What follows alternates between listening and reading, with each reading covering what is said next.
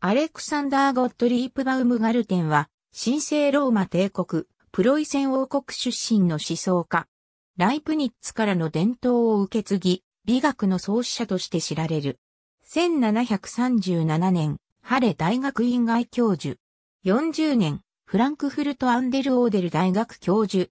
バウムガルテンは1735年に提出した論文、死に関する若干の事柄についての哲学的政察において次のように美学を定義した。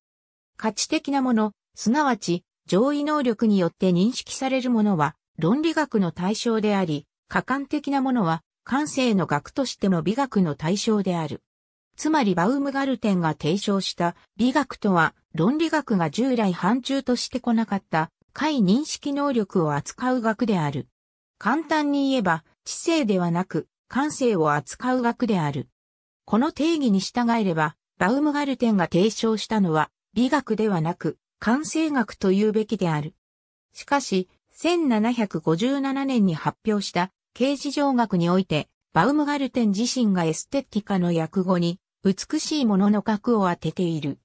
したがって、美学という訳語は、美学の提唱時の意味は失われているものの、バウムガルテンの意図は組まれていると言える。カントは、自身の講義で、バウムガルテンの刑事上学を教科書として使っていた。だがカントは、判断力批判の中で、美学は回復会の感情に基づくとした。ありがとうございます。